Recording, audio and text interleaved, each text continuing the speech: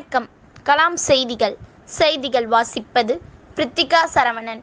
புதுவை வில்லியனூர் மாவட்ட ஆட்சியர் மற்றும் வருவாய்த்துறை அலுவலகத்தில் இன்று இந்திய திருநாட்டின் எழுபத்தி நான்காவது சுதந்திர தின விழாவை முன்னிட்டு ஆட்சியர் அலுவலகத்தில் மிக எளிய முறையில் சிறப்பாக கொண்டாடப்பட்டது.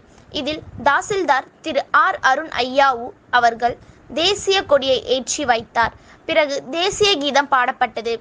இதில் துணை வட்டாட்சியர் எஸ். கஜேந்திரன் அவர்கள் மற்றும் உடன் பணிபுரியும் ஊழியர்களும் கலந்து கொண்டனர். அனைவருக்கும் இனிப்புகள் வழங்கப்பட்டது. கலாம் செய்திக்காக புதுவை செய்தியாளர் பார்த்தசாரதியுடன் வில்லியனூர் செய்தியாளர் பிரித்திகா சரவணன். மேலும் இது போன்ற செய்திகளை தெரிந்து கொள்ள கலாம் செய்திகளுடன் இணைந்திருங்கள். நன்றி.